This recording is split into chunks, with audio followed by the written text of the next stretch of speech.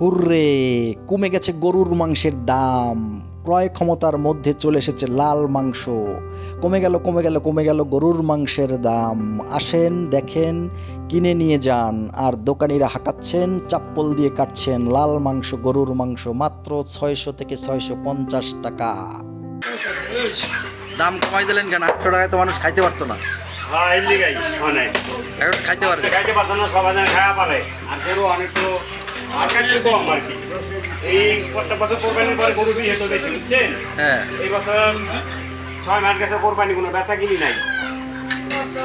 গরু যে এখন কি বেচা কিনা বাড়তেছে? হ্যাঁ এখন তো সস্তা সবাই খাওয়া পারে গরিব মানুষও খায়। আগের থেকে বেশি বাড়ছে? হ্যাঁ হ্যাঁ। ব্রাজিল থেকে গরু গোস আগে এক গরু দুই দোকান ব্যস্ত পারতাম না।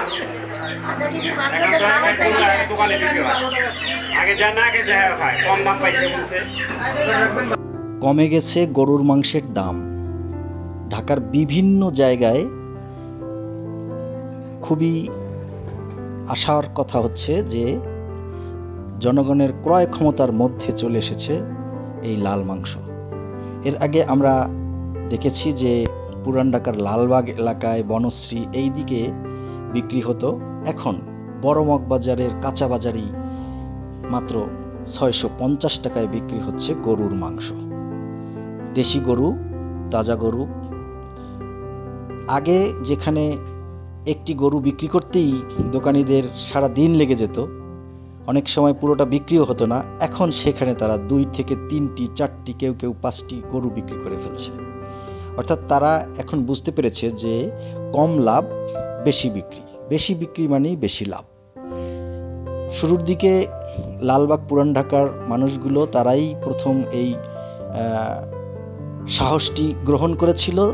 কিন্তু এই সব এলাকার মানুষ যারা কসাই তারা রিক্সটি নেয়নি। কিন্তু ধীরে ধীরে মানুষ মাংস কেনার জন্য যেখানে কম দাম সেখানে যাওয়ার চেষ্টা করে এবং যায়।